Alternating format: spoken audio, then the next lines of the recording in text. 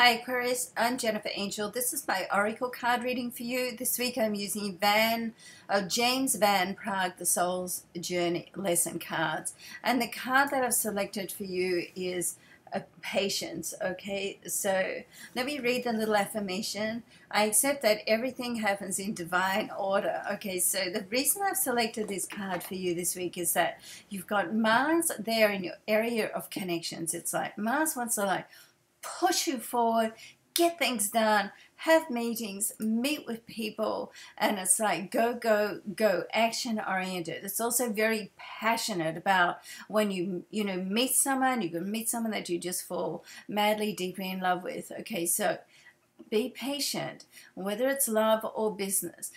Take a step back, enjoy the moment, see what happens. Because Mercury in your area of communication, and Mercury being the planet of communication, is retrograde, coming out of its retrograde this week. So that also says to me, have a little patience.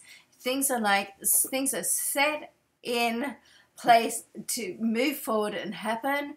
Don't try to rush them. Step back, enjoy the journey, smell the roses, as they say, okay? All right, have a great week. I'll see you next week.